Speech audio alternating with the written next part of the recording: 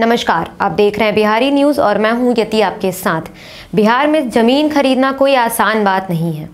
भले ही बिहार रोज़गार को लेके पीछे है, यहाँ नौकरी के अवसर भले ही कम है पर ज़मीन के दामों में कोई कमी नहीं दिखती।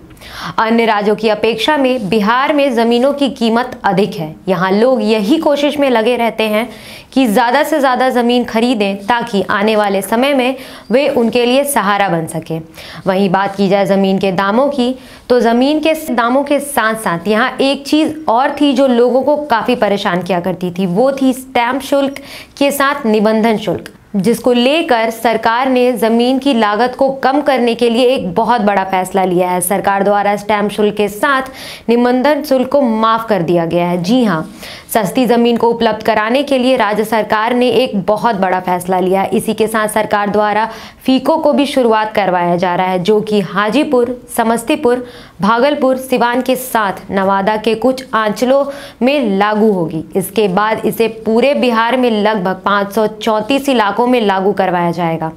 राजस्व एवं भूमि सुधार मंत्री आलोक कुमार मेहता ने वरीय अधिकारियों के साथ विचार विमर्श किया, जिसके बाद उन्होंने अधिकारियों को ये सुनिश्चित करने का निर्देश दिया है कि अगर सही वजह से दाखिल खारिज में किसी मामले में अस्वीकृति करना आवश्यक हो तो उसके बारे में विस्तार से और लिखित में जानकारी दी जाए। इसी के साथ उन्होंने ये भी कहा कि ज़रूरी दस्तावेज़ उपलब्ध कराने के लिए एक आवेदन के लिए हर किसी को मौका दिया जाएगा। ऑनलाइन दाखिल खारिज के मामलों में अचल कर्मियों की मनमानी काफ़ी बढ़ती हुई दिखी, जिसको ध्यान में रखते हुए अंकुश लगाने के लिए जल्द ही फीको नियम को लागू कर दिया गया है। FIFO first in first out यानी पहले आओ, पहले पाओ। यह व्यवस्था लागू करने के बाद म्यूटेशन के जो आवेदन पहले आएँगे, उनका निपटारा पहला करना अचल कर्मियों के लिए अनिवार्य होगा और अधिकारियाँ इस पे विपरीत पाए गए।